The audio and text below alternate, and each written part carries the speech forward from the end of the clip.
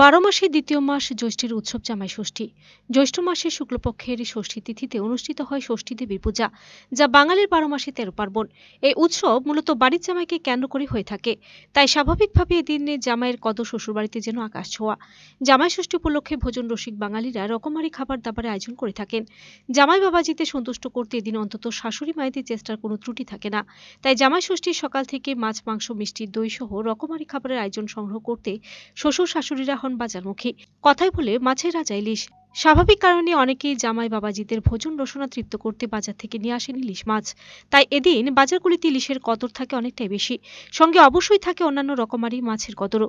দাম স্বাভাবিকের তুলনায় খানিকটা হলেও বেশি থাকে এদিন। তাই বাজারের তুলনায় খানিকটা কম দামে ক্রেতাদের হাতে ইলিশ মাছ ও অন্যান্য রকমারি মাছ তুলে দিতে এবছর আগরতলা মহারাজগঞ্জ বাজারে বিশেষ মাছের কাউন্টার খুলে Tripura apex fishery cooperative society limited, যেখানে রয়েছে ইলিশ সহ বিশাল আকারের কাতল ও অন্যান্য রকমারি মাছ।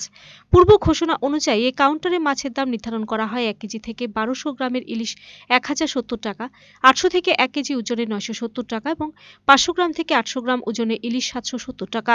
এছাড়া দশ থেকে পঁচিশ কেজি ওজনে বিশাল আকারে কাতল মাছ প্রতি কেজি তিনশো সত্তর টাকা এবং পাঁচ থেকে আট কেজি ওজনে কাতল প্রতি কেজি তিনশো পঞ্চাশ টাকা ধার্য করা হয়। একইভাবে অন্যান্য মাছের দামও বাজারের তুলনায় অনেকটাই কম। তাই জামাই ষষ্ঠীর দিন অনেকটা কম দামে মাছ কিনতে দিন সকালে সরকারিভাবে আয়োজিত কাউন্টারে ছুটে যান সাধারণ ক্রেতারা। দীর্ঘ লম্বা লাইন দিয়ে নিজেদের পছন্দের মাছ এদিন সংগ্রহ করলেন নিম্ন মধ্যবিত্ত অংশের মানুষ। মাছের গুণগত মান ও দাম আয়ত্তের মধ্যে থাকায় উপচে ভরা ভিড় লক্ষ্য করা যায় কাউন্টারের সামনে। বাজারের তুলনায় অনেকটা সস্তায় মাছ কিনতে পেরে খুশি ক্রেতারা সে তো একে তো জামাই ষষ্ঠী আমরা সবাই জানি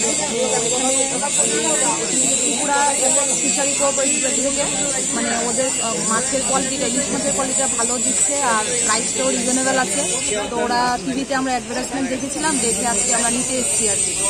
মাছের কোয়ালিটি ভালো সাইজগুলিও ভালো আর আমরা সবার পছন্দের ইলিশ মাছ। তো তার জন্য দীর্ঘ লাইনের প্রতীক্ষা করে আমরা নিলাম দুই কেজি ওজনের একটা মাছ রেটটা কীরকম? রিজনেবল আছে যে কোয়ালিটি আছে কোয়ালিটি রিজনেবল আছে। ভালো।